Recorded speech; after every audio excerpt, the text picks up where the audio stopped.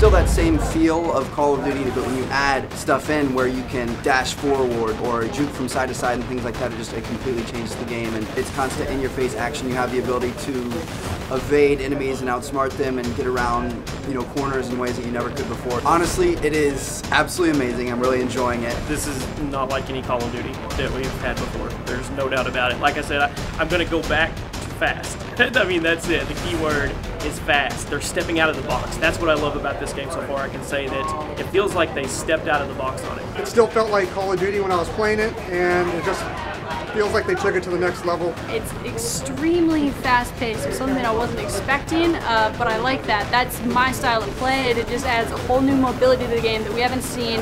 It's a total series changer. The flow of the game is incredibly fast. It's like my ADHD is incredibly satisfied. It felt like picking up a Call of Duty game uh, for the first time again. It really does feel new, as cliche as that kind of sounds, but it, it really feels new.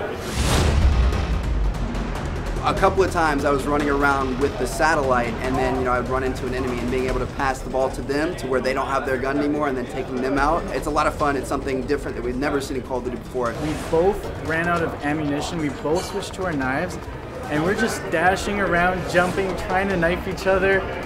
Admittedly, he got me, but doesn't matter. That was just such a cool moment, and it felt like just two super soldiers, like two Arnold Schwarzeneggers, just kind of in a in a knife fight, you know, but with exosuits. I was running a, a shotgun, playing on hardpoint, and I boost jumped, come down on the hardpoint, and just blow the dude away. Not only was it aggressive, but the audio mechanics of the game just pump you up. There's just so much bass and deepness and crispness to it. It's it's really cool.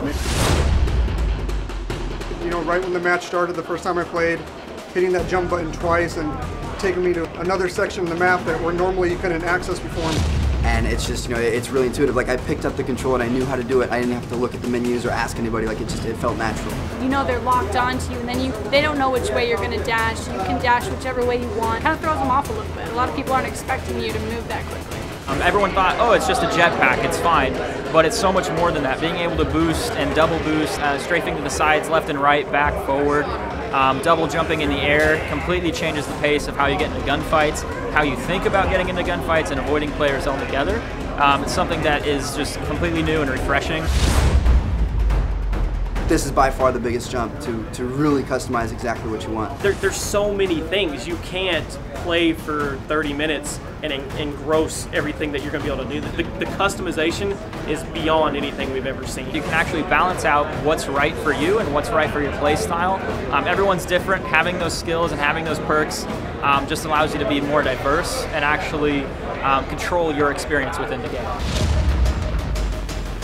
Oh my god isn't a word, is it? awesome!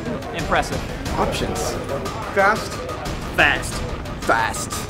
Fast and fun. Fast. Yeah, that's it, it's fast as hell.